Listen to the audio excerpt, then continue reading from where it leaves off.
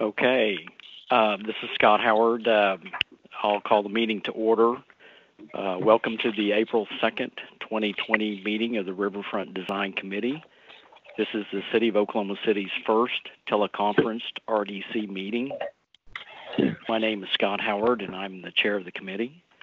There are a few announcements to make regarding the teleconference meeting. Um, if the teleconference is disconnected at any time during the meeting, the meeting shall be stopped and reconvened once the audio connection is restored. If communications are unable to be restored within 30 minutes, items remaining for consideration will be continued to the next regularly scheduled Riverfront Design Committee meeting on Thursday, May 7th, 2020 at 9 a.m. by teleconference. The agenda and documents are located on okc.gov. Please remember that only one person can be heard at a time.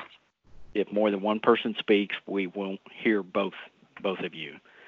For anyone speaking today, including committee members, please identify yourself when you begin to speak.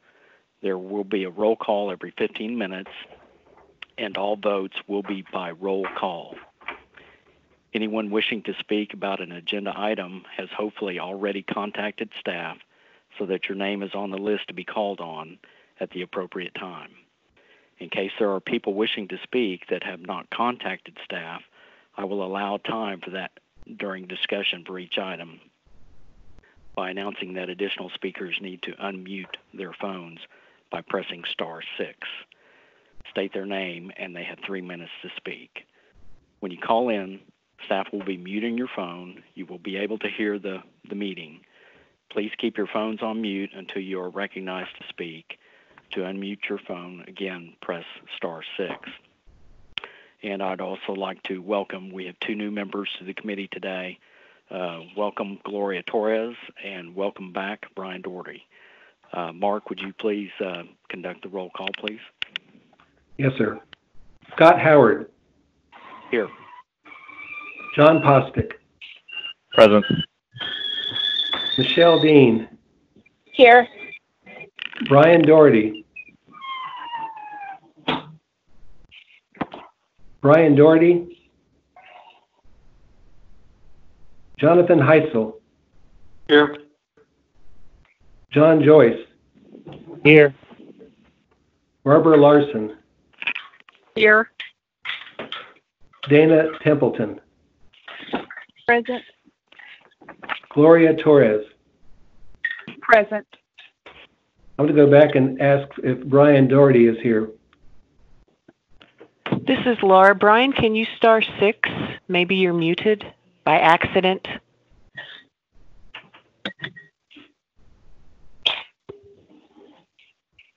Now, No, he- you hear me? This is Brian. Okay, you're here. Okay, Got it. great. Okay. So we have, sounds, looks like we have a quorum. Okay. Thank you, Mark. Um, item two, approval of minutes uh, from March 5th, 2020. This is John Postic. I motion to approve the minutes from the last meeting. Okay. Do we have a second? Barbara Larson, second. Thank you. Any discussion? Uh, Mark, would you please do a roll call vote?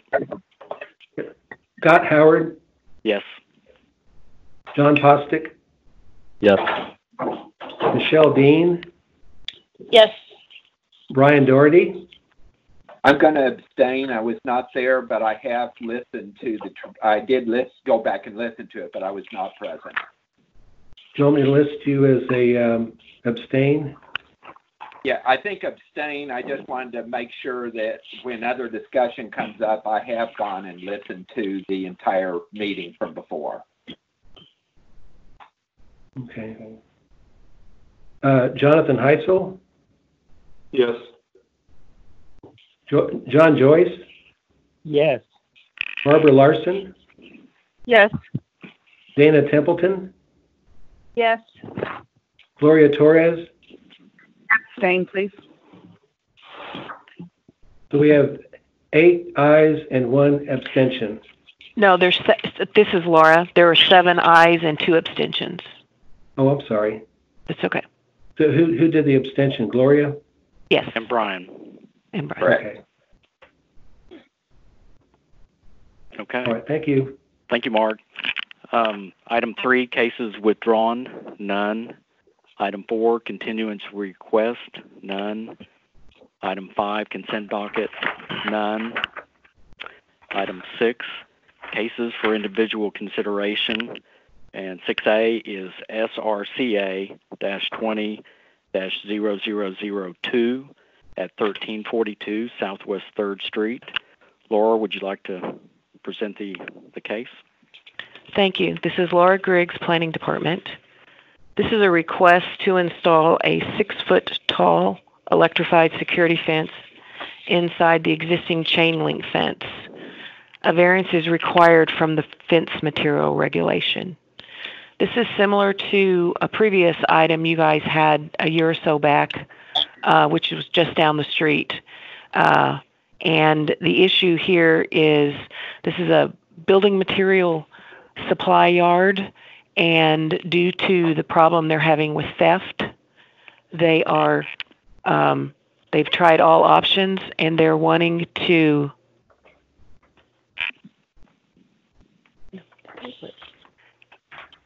they're wanting to um, uh, keep their uh, sorry keep the yard more secure. Um, this is located in an industrial park. As you can see from the pictures that we included in the packet, which are available on the city's website. Also included in the packet was a picture of a similar fence uh, that is actually located um, off of South Walker. Um, and that one was also installed with a six foot chain link fence. And behind that is the 10 foot electric fence that they want to uh, install. As referenced in the staff report, um, it is uh, probable and highly likely that the wire just kind of disappears because the wire is so thin, which is what these pictures show you. Um, staff is recommending approval, subject to uh, a condition that the applicant obtain a variance from the Board of Adjustment from the fence material regulation. And you will need to make two motions, um, like we always have to do when an item has to go to the Board of Adjustment, if you determine that you're recommending approval. Okay. Do you have any questions for me?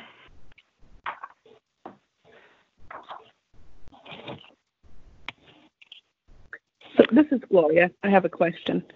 I and you I've looked at this and it says that there um, that it is an industrial area. Is there any reason that school children or children would be uh, crossing through here and would run the risk of inadvertently? Uh, this is Laura again. The the electric fence is being installed behind the chain link fence. Um, the chain link fence runs along the property line. So the only way to get to the electric fence is if you would climb over the six foot fence that has barbed wire on the top Okay. to get into it. So I'm not saying uh, some kids can't climb very well. I, I don't per, I don't perceive that to be an issue. There are no residences in the area, um, and there isn't an- any sidewalks in this area at all either. Okay. Thank you. Hmm Uh, is there an applicant um, that would like to speak? Is Michael Pate is the applicant? If you can unmute your phone, this is Laura. Hey, Laura, can you hear me? Yes, we can. If you can identify yourself, please. yes. Uh, this is Michael Pate. I'm with Amarok Perimeter Security Systems in Columbia, South Carolina. Um, uh, Gloria, I don't know your last name, so I'm just going to say Gloria. Gloria, uh, Laura is correct. Um, we actually um, installed behind the existing chain link fence. The probability of anyone touching it by accident are almost zero. Um, someone actually has to uh, uh, be committing criminal trespass to actually touch the electric security fence. It's powered by a 12 volt battery, so it's never connected to the mains and it pulses. So it's a very safe and reliable device. Um, Laura, I'm not sure how many we have uh, installed here, but it's got to be in the 20s or 30s. um, also, uh, I basically just want to say thank you, Laura, for um, for all you've done here, um, uh, and we would appreciate a positive vote so we can move forward with the installation. And if anyone has any questions at all, I'd be glad to answer them. Thank you, Mike. Um, are there any um, citizens that would like to comment? If not, I uh, would ask uh, committee, committee members if they have any questions. This is Barbara Larson. Um, I wanted to just confirm that one location for the box has been coordinated with the fire department. Um, this is Michael Pate again, and the answer to that is yes. Each fire department has its own special Knox switch, so we actually have to go to the fire department to order the Knox switch, so they know where it is, and um, uh, we install it according to the plan and their approval of the plan. This is Barbara again. Can you um, identify where the con- electronic controller is located on this site? Uh, Barbara, I do not have the plans in front of me, Okay. but the control box, the electronic control box is on the solar array. So there's a solar array, and underneath that array is where the electronic control panels are. So you have the energizer in there, which basically takes the 12 volts and amplifies it. You've got the alarm panel in there, and you've got the battery box. So all that is contained in the same place. It's always behind the fence. Uh, we usually locate it in the most exposed area we can possibly find, meaning that we have to have sunlight hitting those panels. If you just have 10% of a panel that's shaded, it takes out 80% of the of the efficacy of that panel. So it really won't operate at full speed unless it's out in the sunshine. So we actually put it on the site plan. Laura will probably be able to point it out if she has the site plan in front of her. But sometimes or occasionally we might move it a little bit just to make sure we get proper sunlight on the solar panels. Sorry, this is Laura because I was looking on the site plan It's not there. to see where it's at. I see where the Knox box location is, but I'm not seeing where the solar array is proposed to be located. If, is it not on C3? Um, on to the right, there's a, a diagram showing three components: front, rear, and side. I believe the solar array appears to be at the top. I, I do see those. I'm just trying, this is Laura again. I'm just trying to figure out where they're located on that site plan, which oh, is okay. On sheet C1. Usually, Laura, it will be just, this is Michael Pate again, it will be just inside the front gate, usually, right by the Knox box. Okay, so if it's right by the, the Knox box, then that's located toward the western end of the street frontage that they have. Because that's shown with that red circle on sheet three, C1.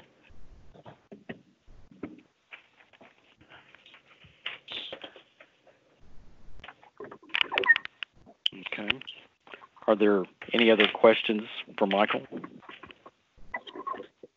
And just for point of reference, and I have to apologize, the, the pictures that staff took that are included in the packet ended up coming off on big paper. But if you were to look at the pictures, um, there is a picture which states looking west down Southwest 3rd Street, subject side is on the left.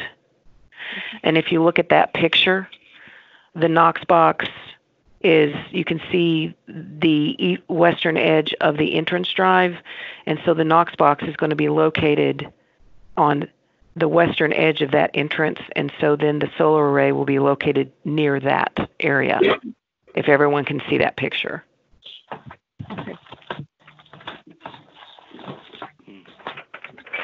This is the chair. Thank you, Laura. Um, so basically, I think we, as Laura mentioned, we'll have two votes. Um, one for the application and then one for the Board of Adjustment. Um, Chair would entertain a motion.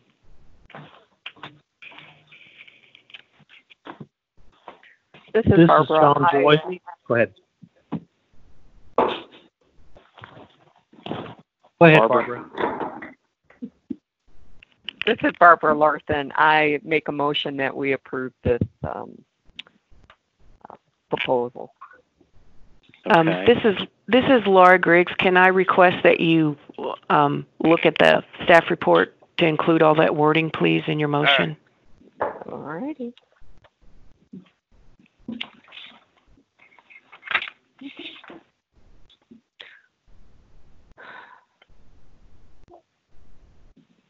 I have too many papers. John, go ahead and take it.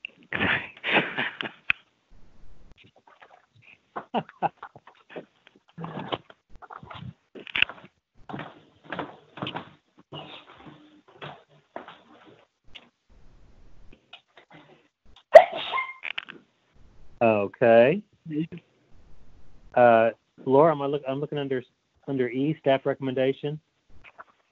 Yeah, Um, Okay, yes. okay. This is Barbara. I found it. I found it. I I make a motion to approve the application on the basis that the project complies with the regulations and guidelines of the Scenic River Overlay District Design District zoning ordinances as referenced in section C and D of the staff report with the condition that the applicant obtain a variance from the Board of Adjustment from the fence material regulations. Okay, this is the chair. Do we have a second? This is John Joyce, I second. Thank you, John. Any further discussion? Okay. Uh, This is John Postick. Um, I, I'd like to pose a question to Laura, um, Laura Griggs, and also the um, uh, our, our legal staff. Um, am I permitted to add an amendment to that motion to add our number two of uh, we would further like to provide a recommendation of approval to the Board of Adjustment for a variance to the fence material regulations, or should that be a separate motion done after this vote? This is Laura McDevitt. Yeah, that would be appropriate for a second motion. Okay, then I, I withdraw my comment. Okay, this is the chair. Uh, Mark, would you please proceed with the roll call vote? Yes, sir. Scott Howard, Yes. John Postick, Yes. Michelle Dean, Yes. Brian Doherty, Yes. Jonathan Heisel, Yes. John Joyce, Yes. Barbara Larson, Yes. Dana Templeton, Yes. Gloria Torres. Yes. Nine yeses and no nays. Okay, thank you. Uh, the motion uh, passes.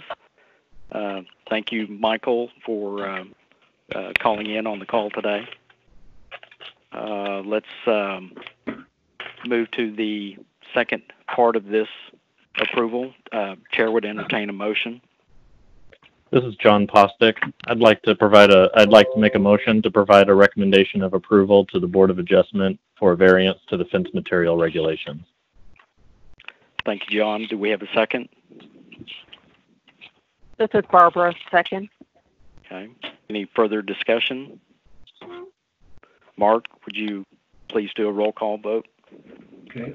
I showed that Postick moved, Larson seconded. Um, Scott Howard, Yes. John Postick, Yes. Michelle Dean, Yes. Brian Doherty, Yes. Jonathan Heisel, Yes. John Joyce, Yes. Barbara Larson, Yes. Dana Templeton, Yes. Gloria Torres. Yes. And I'm recording nine ayes and no nays. Okay, thank you. Part two was approved. We'll go to item uh, 6B, case SRCA-20-0003 at 3300 West Reno Avenue. Laura, would you like to present? Thank you, Chair. This is Laura Griggs, Planning Department. This is also a request to install a 10-foot tall electrified security fence inside the existing chain link fence. This site is located on the south side of West Reno, north of I-40, I-44. It is immediately south of the fairgrounds. Maxwell Supply is uh, a construction supply company. They've been at that location for uh, several decades. Due to an issue they're having with security and theft, this proposal is to add, as I said, that an electrified fence that will be located inside or behind the existing chain link fence. Um, similar to the last location, this is an industrially zoned piece of property surrounded by industrial property. Um, the committee, um, let me back up on that one, sorry. Uh, since this item needs a variance, it had to go to the committee, and you'll also be having the two motions like you did on the last one. Um, we included the same pictures in your packet of the existing fence that's out down off South Walker to show the visibility of the proposed fence is minimal.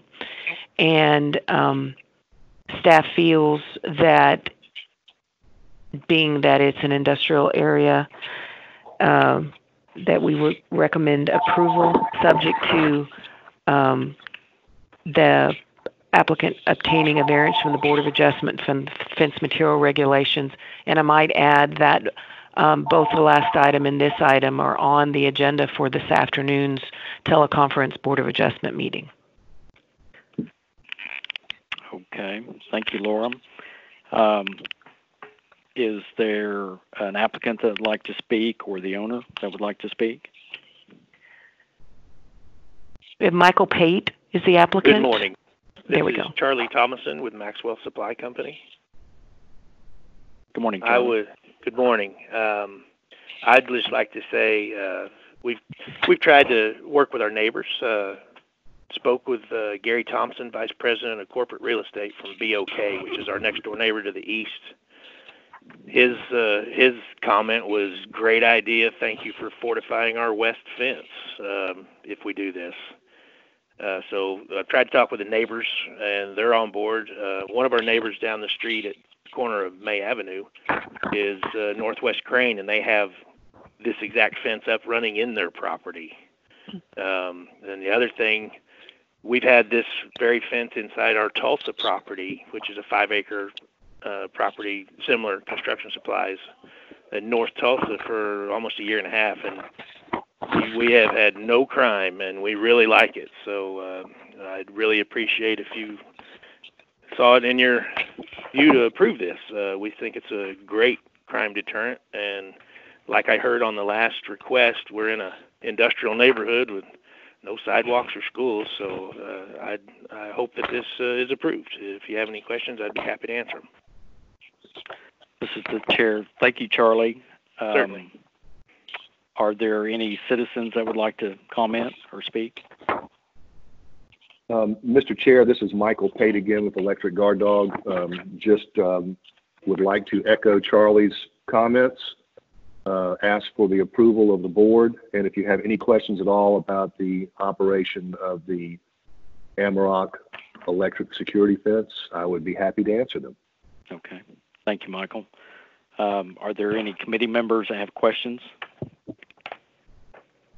This is Barbara. I have a quick question. It looks uh, like on this photo, um, photo number three, existing fence, that the fence is um, painted or has a vinyl coating on it. Is that true? Uh, Michael, there were, this is Laura Griggs. They're referring to a picture that I took. Um, so it is, it was in the packet. It's, I believe the fence that's out there is a black coated chain link fence. Um, so I'd like to I ask, if Charlie, Am I still unmuted? This is Charlie Thomason. we can hear you, Charlie. This is Laura. Yes, yes. Our our existing fence is the six foot. It's the black vinyl coated and black post Um, I don't recall how many years. It's probably been 10 years that we put it up, but yes, it is the vinyl coated. This is Barbara again. So, so is the proposed um, electrified fence going to be vinyl coated as well, or are you just putting uh, uncoated up? Uh, this is Michael Pate with uh, Amarok. Uh, the electric security fence will not be vinyl coated. If it is, it won't work. it has to be a bare Well- wire. Um, so it it will be a bare wire. Um, we can we can actually uh, paint the posts or get the get the color of the posts themselves to match the black vinyl, but the actual wires themselves we cannot do that. This is Barbara again. Yes, I, just needed clarification because it, it's a different condition than what we looked at before and may not appear as translucent as if they were both exactly colored, both fences. Colored. And, and, and Barbara, Barbara, this is Michael Pate. Yeah, the contrast in the wire, the, the, the wire we use is actually gray, so the black, your eye would go almost straight to the black. You would never see the, the wire behind it just because there's really no contrast there at all between the two colors. Thank you. Yes, ma'am. This is the chair. Are there any other questions from the committee? Okay. Uh, chair would entertain a motion.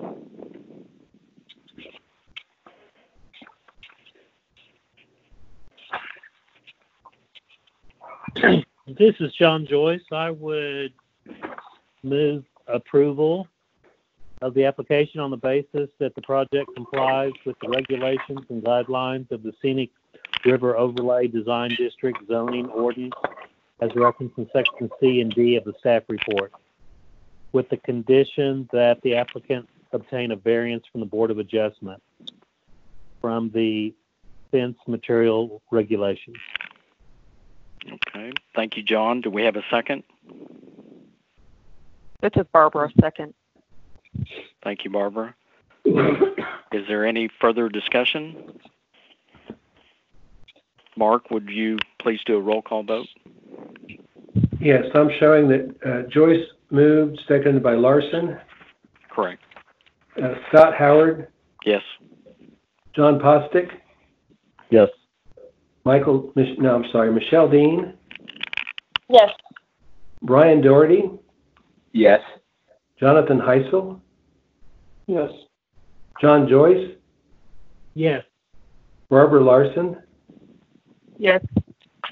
Dana Templeton, Yes. Gloria Torres. Yes. That'll be nine ayes, no nays. Okay. Thank you. The motion passes. Uh, now for the part two. Uh, chair would entertain a motion. This is John Postic. I'd like to make a motion to provide a recommendation of approval to the Board of Adjustment for a variance to the fence material regulations. Thank you, John. Do we have a second? Dana Templeton will second. Thank you, Dana. Any further discussion? Mark, would you please do a roll call vote? Yes, sir. I'm showing that Postic moved, seconded by Templeton. Correct. Scott Howard, Yes. John Postic, Yes. Michelle Dean, Yes. Brian Doherty, Yes. Jonathan Heisel, Yes. John Joyce, Yes. Barbara Larson, Yes. Dana Templeton, Yes. Gloria Torres. Yes. I'm sorry, th- did you say yes? Yes. Okay. I show that it's uh, nine ayes, zero nays. Okay. Thank you, Mark. Um, the second motion passes. Uh, thank you, Michael, and thank you, uh, Charles, or Charlie. Thank you very much. You bet. Okay. Um, item seven, other business, seven A, is PUD zero one seven two five. I believe this is a continuance from a previous meeting. Laura? Uh, Laura Griggs, Planning Department. This item was continued from your last meeting. This is a request to rezone the Boathouse District to a plan unit development, and you would be providing a recommendation to the Planning Commission. This item is scheduled to go to the Planning Commission for their teleconference meeting next Thursday. In your packet, uh, on page two under Other, I summarized the changes that were made um, uh, and the committee requested additional specifics concerning the proposed large sign locations. And the applicant provided an additional exhibit, which is found in the back of that item. It's in front of the pictures. Once again, those pictures are the staff's PowerPoint. They did not come from the applicant. But their second 11 by 17 sheet, which is on the back side, you will see that they showed two potential locations for the large signs, which was discussed at the last meeting. The revisions that they're proposing to their PUD document, as I referenced in the staff report, can be found on page 7 and 8 of the PUD document. And you will see what they're proposing, what they deleted is strike through, and what they're adding is it was underlined and in red. Obviously, this is was in black and white, um, so you couldn't see that. So the only changes that they're proposing since the last time are to the sign regulations. Um, one item that they're proposing to change is on the larger signs. So they're actually proposing to have, uh, instead of freestanding accessory signs, they're proposing to entitle 9.10.1, which is found on page 7 of the PUD document, as large scale accessory signs. And so they have made changes in there to square footages. Um, there's a reference in there that talks about reviewing or not being reviewed by the committee. The other thing that they did change um, is over on page 8 under temporary signage 9.10.6 where they added a last sentence in that one. So the applicants, uh, both Tim Don- Johnson and Mark Zitzow from um, are on the phone as well as the leasee, uh, Mike Knopp, have called in for this. Okay, this is the chair. Um, or would the applicants like to speak? Yeah, this is Tim Johnson on behalf of the applicant, um, and Mike is uh, called in earlier. Um, if there's any questions, so we listened to what you all were concerned about at the last meeting and came back and, and worked over the PUD to to decide that the real intent of this is we want to be able to attach these LED signs to structures that are located in the park facility uh, currently and in the future. And so utilizing the information that Mike has on the uh, new zip line project, uh, we got square footages of the face and sides of those structures, and that's where we came up with kind of a, it may not be exact, so we put it, we get, made it a kind of a round number of 2,500 square feet to not exceed, and that we would come back to the committee to review these signs before they would be installed and I felt like that gave you guys the comfort uh, of seeing what they're going to look like before they get built. Uh, and I felt that's what we, we took away from the meeting. That was your. Okay. Thank you, Tim. Are there questions from the committee? Uh, this is John Joyce. I I don't really have a question, uh, but I would say that Tim read my mind pretty well on that uh, that was what I was concerned. So if they're if they're willing to come back and kind of show us what the signs are going to look like at the time they put them up, then that would alleviate my concern. Thank you, John. Any other this questions? Is, uh, Barbara. This is Barbara Larson. Um, I have a question um, about 9.10.1. um, I- I basically need a clarification. The 2,500 total square foot of signage, it is not clear to me whether that is um, pertaining only to the large signs on these two structures or if it includes all the signs because the second, third, fourth, and fifth paragraph of 9.10.1 appear to be part of the same paragraph, the same article. So when I read through this, I almost get the impression that the 2,500 square feet of signage would apply to the large scale accessory, to the freestanding signs because it says undetermined amount, um, the ground mounted directional signs as well as the flagpole signs. And so I, I'd like clarification on that. Uh, This is Tim Johnson. Yeah, the 2,500 square feet is intended to apply to the large-scale accessory signs only, uh, and that's why it's in that uh, paragraph, engulfed in that paragraph. In- the first sentence uh, of that second paragraph, attached large-scale accessory signs shall be permitted within this PUD and limited to the 2,500 square feet. Then it goes on to describe uh, how the signs can be used. The next paragraph then talks about the freestanding signs. And so we felt like that's clear, that that's dealing with the large-scale signs in that paragraph. The next paragraph deals with the, the freestanding signs. Um, we can further clarify that by putting a subsection, if necessary, before the PUD goes to planning commission. Okay, so, so, um, all of the other signs are not limited to the, um, number or square footage that will be installed in the area. Tim Johnson again. Yeah, that's correct, because the smaller scale signs are thought to be, uh, whether they're directional or identifying signs for the events that are going on there at that level and lower, uh, it would be non-obtrusive to anything around the river.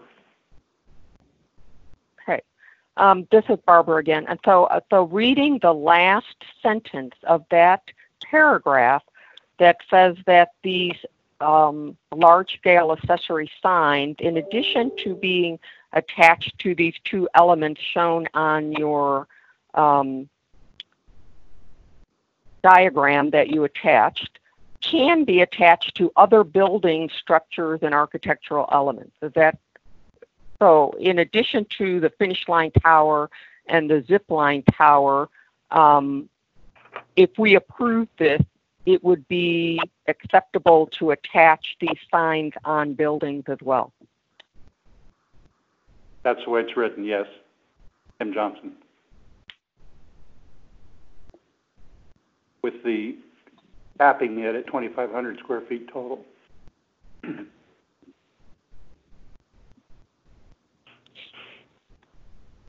Um, and these, these signs are not temporary.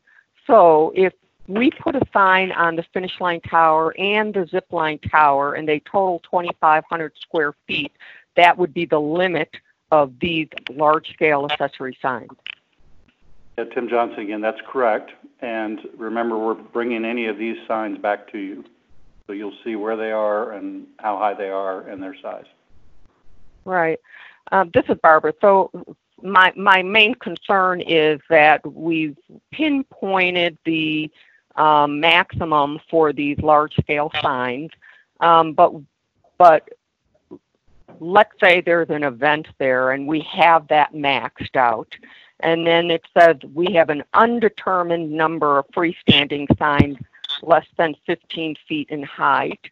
Then we have an unlimited number of flagpoles with no height restriction that also have signs on them.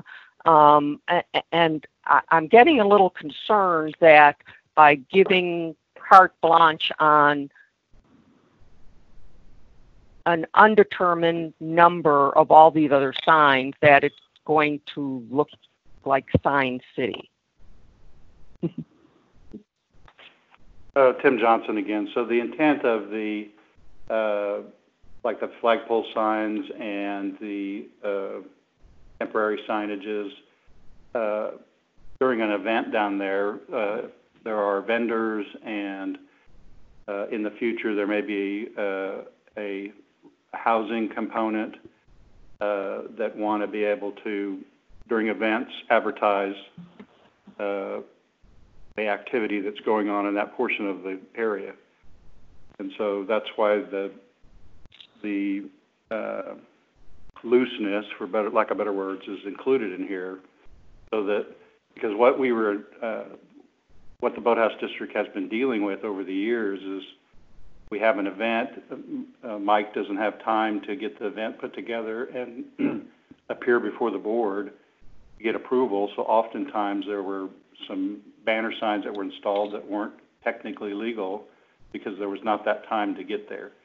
That's what this, the whole purpose of this PUD was to allow that flexibility uh, for, uh, to do a better job getting the events in and getting them properly advertised. Tim, this is the chair. I I just have a question. So these banner signs are typically, as you said, for an event, so they're they're probably mounted like with what on T-post or something, and then after the event, are they removed fairly quickly or? Uh, it- And I, Mike, you can chime in here, but that's the way I envisioned it when we drafted this, was oftentimes you see an open house in a new neighborhood, and the flag signs are out in front of the house saying open house. Yeah, th- this is Mike here, uh, Mike Knopp uh, with the River Sport Foundation. We do, of course, we do a number of events, and they all come with different um, requirements with regard to, you know, depending on what kind of uh, entity we're working with. For example, we were going to host the Olympic trials in May, but obviously that was postponed. Um, and with that, the U.S. Olympic Committee comes with a whole sign package. So if you ever watch, you know, if you well, if you watch any professional sports event like you know the Thunder, you can see the way that they present signage at the events. Now, our case, in our case, it's sort of an outdoor arena that constantly changes depending on what kind of event we have. In the case of the Olympic trials, it would be a series of you know Olympic trial related branding, which is obviously very good for Oklahoma City because because they want to make sure that is appearing in all the media and television, whatever um, you know, it, within the field of play. And so it's really important to us that we be able to do that. And it and because of this, the nature of the venue being built as a international sports venue, we have to be able to have that flexibility. Um, we were going to have an international event in August that would be te- televised to 8 million people around the world. And with that, we would have had signage up and down the riverbank that would be branding Oklahoma and our partners. And so that's what this is intended for, that we would be able to, you know, put the proper signage up to dress the venue up for these important events. And then, of course, after the events, that signage does come down. Thank you, Mike. Are there any other questions from the committee? I have questions. This is. Dana Templeton. Um, I was uh, rereading everything based on the um, the continuance from last the last meeting. It, one of the reasons given for the continuance was because our packets arrived a little bit late, and we felt we didn't have enough time to review this um, properly. And so, in re taking another look at everything, but including the uh, signage issue. Um, I found another one that I'd like to ask some questions about, about the um, development regulations under the staff report D1. So, um, where it talks about this proposal does not comply with the development regulations of the Scenic Overlay Design District zoning ordinance.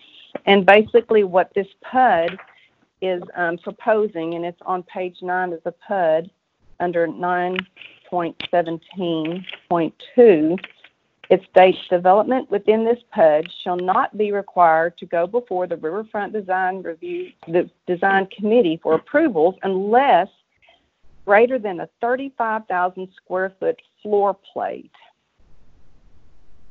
That's rather large, and it and I've, and it has moved. What um, used to be was it a 10,000 square foot um, threshold that would require it to come before the committee, moving it from a 10 to a 35,000. And um, I have a little heartburn with that. I was um, I got online this morning and looked at buildings on Google Maps, and a 35,000 square foot floor plate is close to the size of the Republic parking garage, which is north of John Rex School. It's it's a pretty large floor plate, not including the I think it was up to six floors or levels, which would be a total of like 210,000 square feet. So I think it's the 35,000 square foot floor plate that's giving me heartburn. So anything they could do 34,000 square foot and not have to come before us to get our approval on a building that large. It could be anything really. So um, I was expressing concerns about that large number. Dana, this is Barbara. Uh, I'd mm-hmm. like to also mention that um, downtown is 20,000 and I, that also concerns me that the request is for more than what's required in the downtown area. Mm-hmm. I would. Uh, I wonder if we could get consideration for twenty thousand, limiting it to the exact same floor plate as downtown, and leaving within a hundred feet from the top of the bank of the river at ten thousand. Yeah. And I'm going to add to that, just for reference, the UCO boathouse is about 14,000 square feet. Mm. hmm This is the chair. Is um, uh, Tim? Is that something that that the applicant would be willing to consider? Um, yes. Um, can you repeat the last part of that uh, where you made reference, I thought, to the height? Um, I thought I'd read somewhere we're current. Laura? We were talking about the square footage of the footplate yeah, being at 35,000. And so you'd like us to consider going to 20?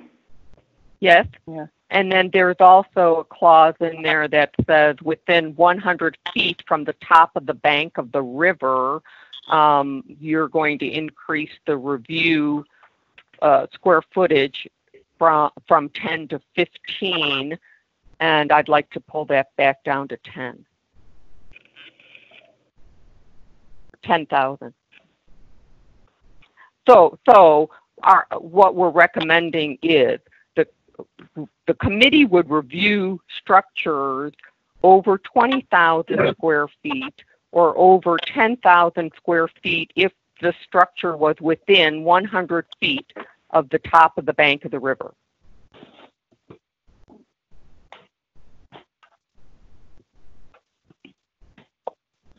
The uh, indication would be, still be floor plate, correct? What? Yes, I think that's Correct. how you are. Yeah. That's how you've got it shown. My, uh, there's a table that is put out in the packet, and uh, I may be reading it incorrectly, but it's table 13500.6. It's a regatta district standard, and there is a minimum and a maximum height on items being much as commercial. So there was, so it could be a, it looks like it could be a 35,000 square foot floor plate with no height limitation that wouldn't have to come before us. Am I reading that right, Laura? Um, this is Laura Griggs, Planning Department. Yes, that's how I read that. Um, there is something somewhere in here, correct me if I'm wrong, Tim, that talks about six stories.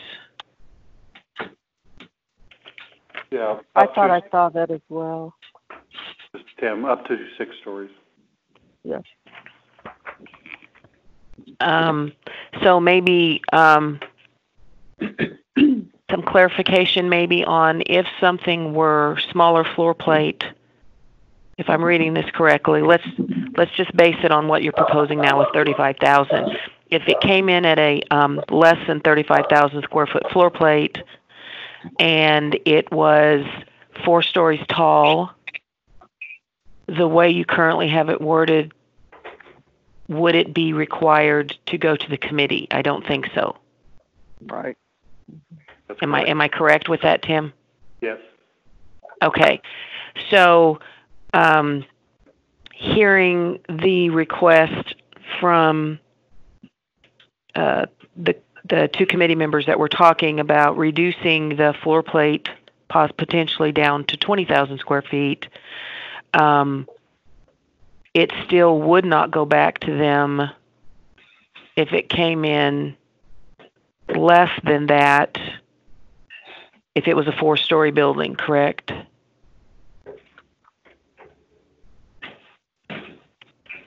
Because you still have,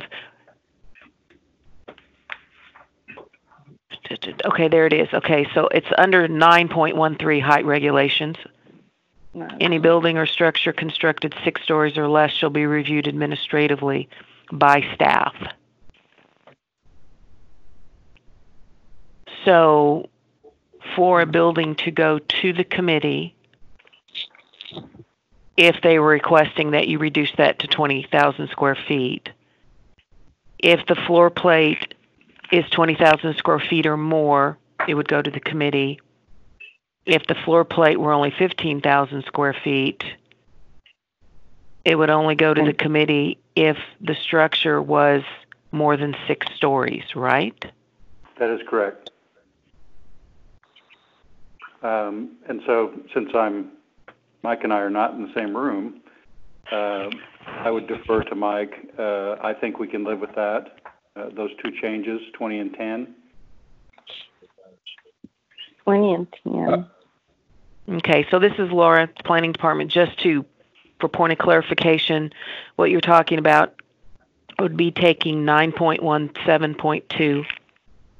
There are two references in that to 20,000 square, for, excuse me, to 35,000 square feet. We're talking about changing the, both of those to 20,000 square feet. So it would say, um, would not, shall not be required to go before the Riverfront Design Committee for approvals unless greater than a 20,000 square foot floor plate. All signage structures, buildings, or building additions less than 20,000 square feet, and any parking lots are permitted for administrative review. The next uh, paragraph down, however, any structure or building over a 10,000 square foot area within a 100 foot from the top of the bank of the river shall be heard by the committee. And I'm just, I'm mm-hmm. was wanting some confirmation that that is what we're currently discussing at the moment. This is Tim Johnson. That's my understanding of the request. This is Dana, I agree. This is Barbara, yes. Okay. This is the chair. Uh, so do we, would we like to make a motion?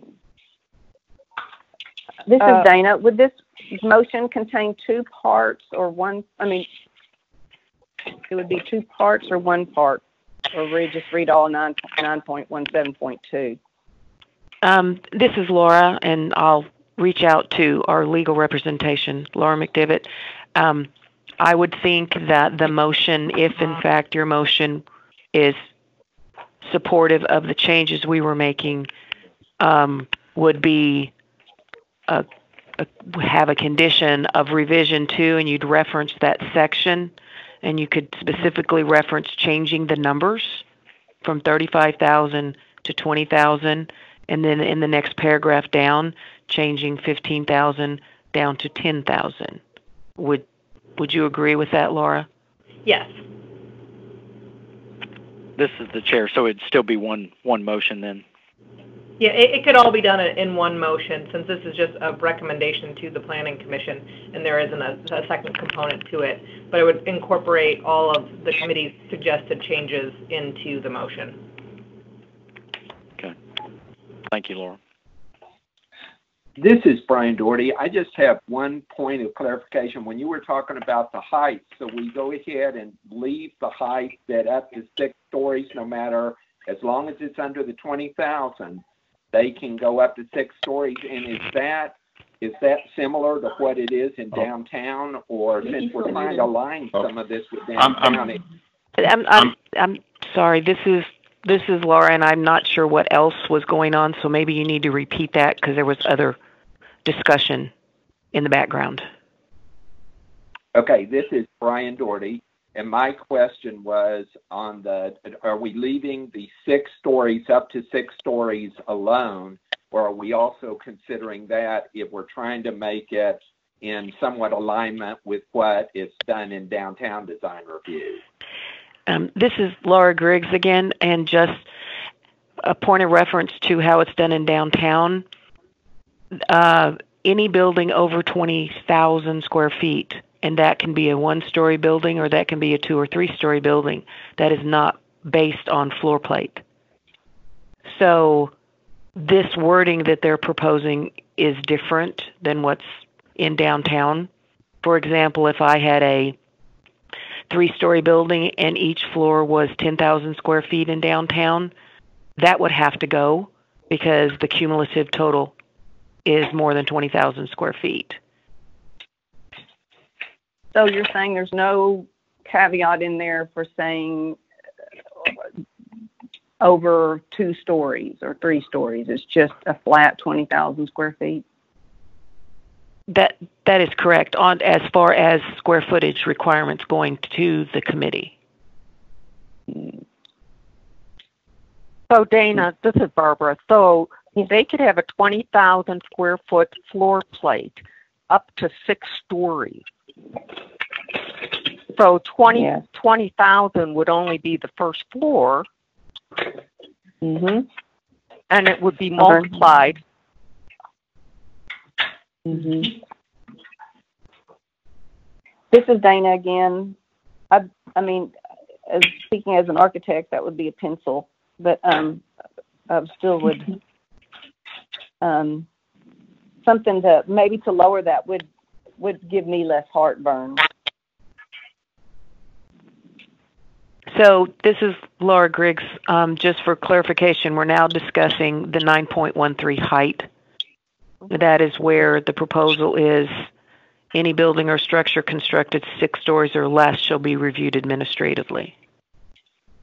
So this is Dana again, and I still think that something like this should fall in line with the downtown.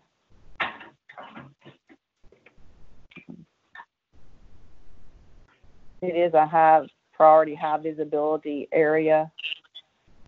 Um, we don't want to cripple them or hobble anybody, but we would like to make sure that it does stick with the branding of Oklahoma City Riverfront Design Review Board and stuff. So Dana, it basically says that if they do something six stories or more, um, it needs to be administratively approved rather than come before the committee. So Uh, I think that this is Dana. Is that backwards? I think it's backwards, six stories or less. Yeah. Yeah, this is Yeah. Tim Johnson. So everything we do has to be done and submitted through the staff for their review. And uh, obviously, over the course of the development of the riverfront uh, and the boathouse district, uh, Mike and his architectural review committee uh, has gone to great detail to make sure things look a certain way down there in the style, materials, and obviously that would continue. Um, I think the uh, the issues that we're facing are more time constraints that are driven by the uh, requirements of the committee review, and we, we want to adhere to the continued uh, style and architecture of the area, and just want to have the ability to work with the staff. And then something big comes around, like these signs, we're back in front of the committee.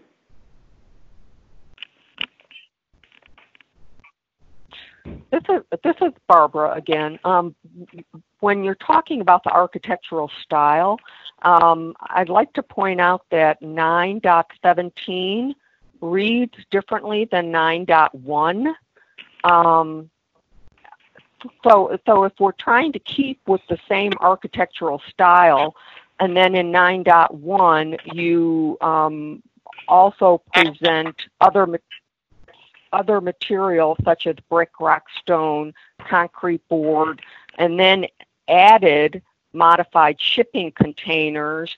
Um, I think there's a little bit of a, a disconnect there uh, as to what you're going for, and without a master plan of the area, it's hard for us as a committee to just approve everything.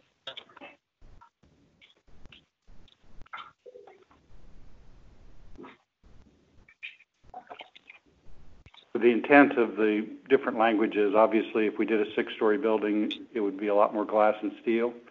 We wouldn't want six stories of white metal. Um, so I think they're two different issues. Uh, and they do, Mike has a very strict design guideline that him and his board deal with. And yeah, so. This this is Mike here. Mike Knopp, I'm happy to jump in for a second. Um, obviously, I think I would hope everyone would agree that for the past 15 years, we have in some ways really set the standard for design for, for the river in terms of the you know the what this has brought international attention to Oklahoma City and has really become a differentiator. We have in no way any desire to change our focus on maintaining that level of quality. I would suggest, however, that there are we want to be flexible because there there have there you know right now we are really impeded by you know many different challenges. One being the fact that we don't have enough signage. You know we have no way of explaining you know getting you know properly uh, directing people to the venue which is what we're dealing with here. But also we have to be able to attract you know additional development here for this to become a long-term sustainable venue and it has to be attractive to potential partners and developers, knowing that we are going to maintain a high standard that we always have in in in the uh, in the design. Are they all going to be white triangular polycarbonate buildings? No, but can they?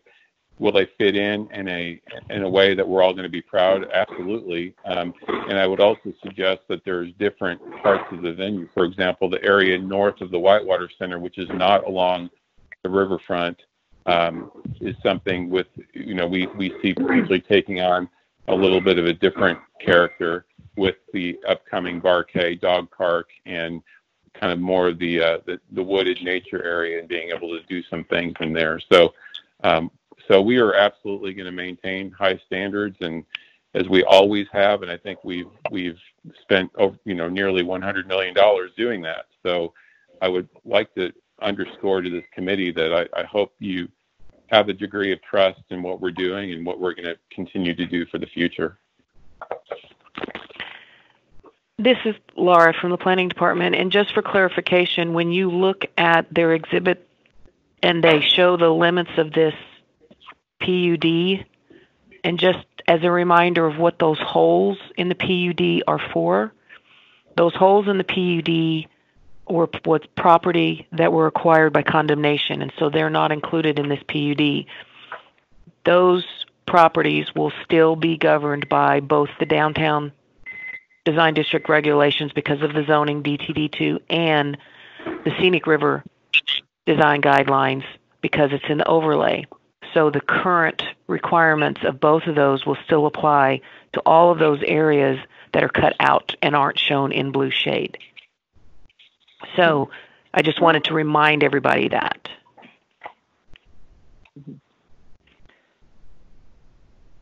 So if you look at that blue map, you will see the there's really limited areas where additional development will occur.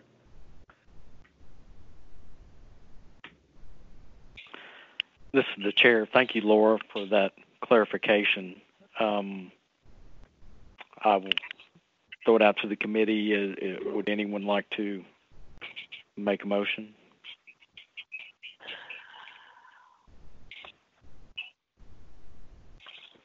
Um, this is Dana Templeton.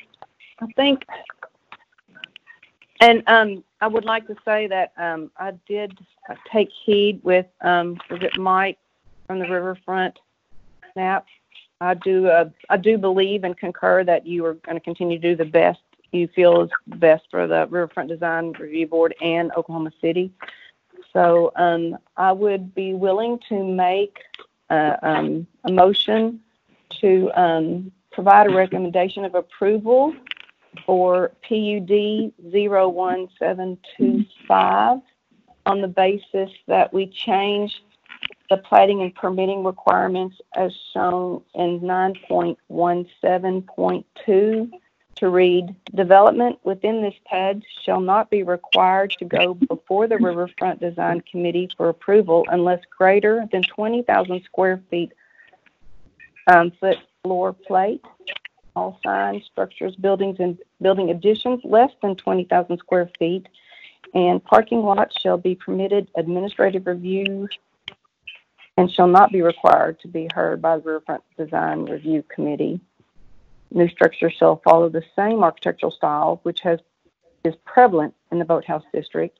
And the next paragraph read, however, any structure or building over 10,000 square feet area within 10,000, 100 feet from the top of the bank of the Oklahoma River shall be heard by the RDC. Okay. Thank you, Dana. Do we have a second? This is John Joyce. I'll second. Okay. Is there any further discussion? And before we go to a vote, uh, can I ask if there were any citizens to be heard? And if if not, we'll proceed. Are there any other discussions?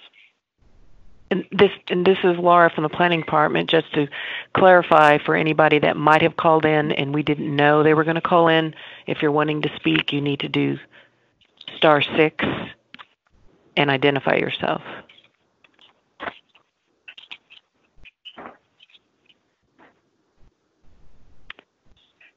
So I think we're good. I don't think anybody. All right, very good. Well, let's. Um, Mark, would you please have, do a roll? This is this is Barbara Larson. I have one further question. I apologize. Um, um, I am looking at 9.10.2 on the attached signs.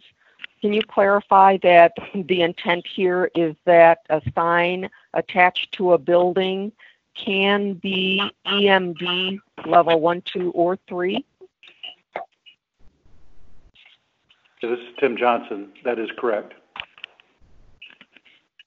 And that would be a permanent attached sign to a building. That's correct.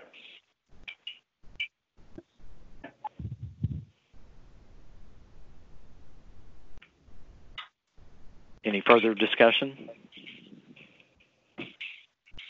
All right. Mark, would you proceed with a roll call vote, please? Yes, sir. I show that the motion was made by Templeton, seconded by Joyce. Uh, Scott Howard, Yes. John Postick, Yes. Michelle Dean, Yes. Brian Doherty, Yes. Jonathan Heisel, Yes. John Joyce, Yes. Barbara Larson, Yes. Dana Templeton, Yes. Gloria Torres. Yes. All right, I show nine ayes, zero nays. Okay. Motion is approved. Uh, thank you, Mike, uh, for your great efforts out there, and thank you, Tim, for uh, walking us through this. Thank you all. Thanks, everyone. Okay. We'll continue to uh, item eight, communications. Any communications, Laura? Uh, if you have 8A. questions, if you guys have any questions about any of those, I can, by all means, it, they're two small cell poles. Uh, item 8B, comments from planning department staff. I want to thank you all. This is Laura Griggs, Planning Department. I want to thank you all for participating in this and your patience. Um, and we do have items for next month's meeting, and uh, we will be preparing them for another teleconference meeting probably. So if anybody has any questions, comments, suggestions about how today might have gone better for you, please, by all means, let us know. And um, welcome to the new members. And we will get your notebooks to you um, as quickly as we can. So that is all I have. Okay, thank you, Laura. Item Mhm. 8C, comments from committee members. Uh, As chair, I again would like to welcome Gloria and welcome back Brian. So thanks for being on the committee. Uh, We talked, go ahead. This is Gloria. I just wanted to say um, I actually am learning quite a bit. I am excited to be a part of this uh, committee, and I think the meeting went extremely smoothly. So I don't know that I would suggest anything to make it a better experience. Thank you all, especially the staff. Thank you. Well, I know Laura put in a lot of work on this, so thank you, Laura. Uh, Thank you. I appreciate that. Item D, we've already talked about the next meeting date, which which will be May 7th, 2020. And with that, uh, unless there's anything else, uh, we'll call this meeting adjourned. Thank you all.